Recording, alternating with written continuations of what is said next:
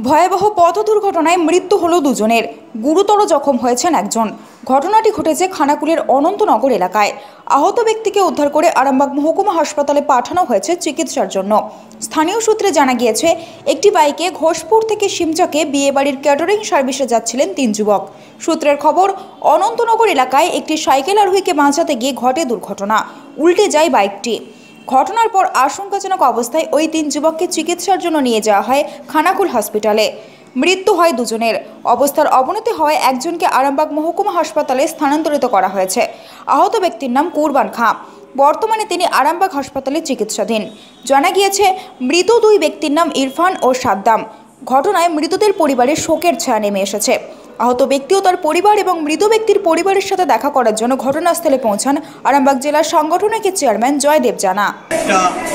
তিনজন যাচ্ছিল। একজন সাইকেল আরোহীকে বাঁচাতে গিয়ে একটা গাছ বা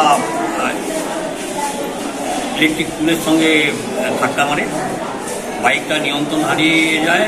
তার ফলে দুজনের মাথা একদম ঘটনাস্থলেই ফ্র্যাকচার হয়ে দুজনই ঘটনাস্থলে মারা যায়। আর একজনকে আরামবাগে রেফার করা হয়েছে। হ্যাঁ, তারও অবস্থা গুরুতর বলে মৃত ব্যক্তিদের নাম কি আপনি জানেন? হ্যাঁ মৃত ব্যক্তিদের নাম হচ্ছে একজনের নাম হচ্ছে ইরফান আর একজনের নাম সাদ্দাম। আর কুরবানকে আরামবাগে রেফার করা হয়েছে। বুঝছেন?